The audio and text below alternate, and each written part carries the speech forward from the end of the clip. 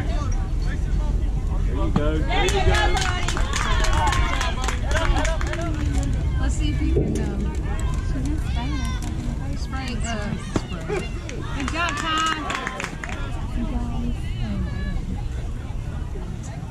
Can I spray you in the job.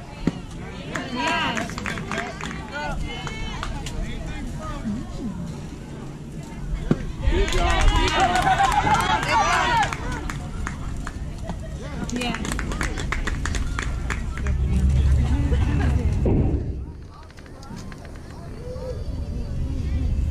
Well, that's because we're still on this first inning.